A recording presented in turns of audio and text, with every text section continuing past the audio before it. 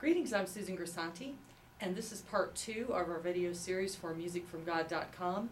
In this series, we're talking about how we transcribe the musical notes of the Hebrew Torah letters into actual music.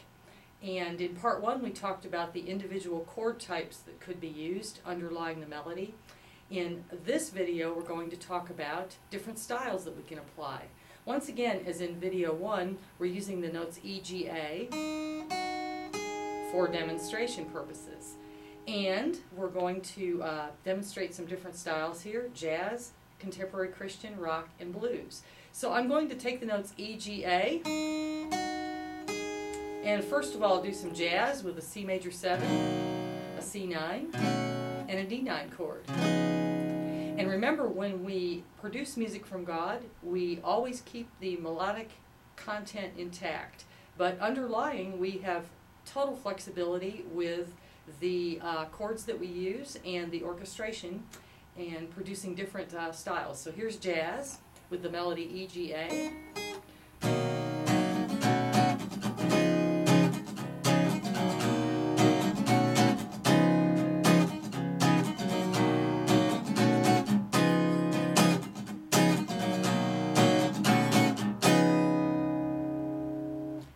Here's a contemporary Christian style with the notes E,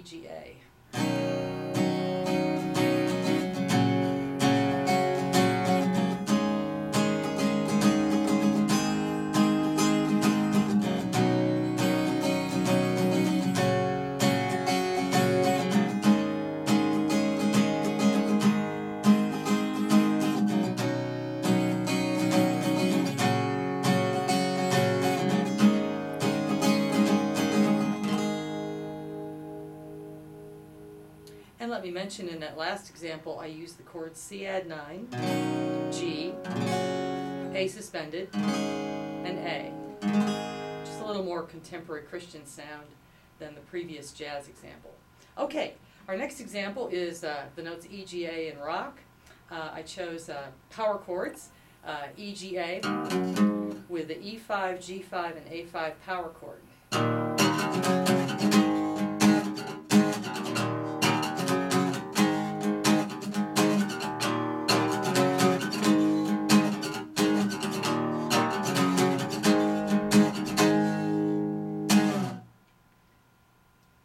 Lastly, for our example today, blues.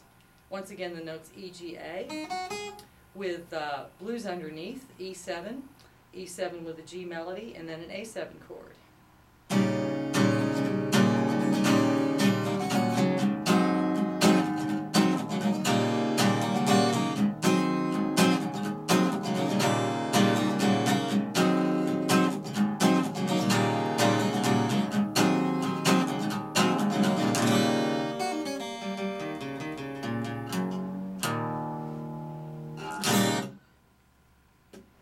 And that's all today for Music from God. I'm Susan Grisanti. If you'd like more information, go to musicfromgod.com.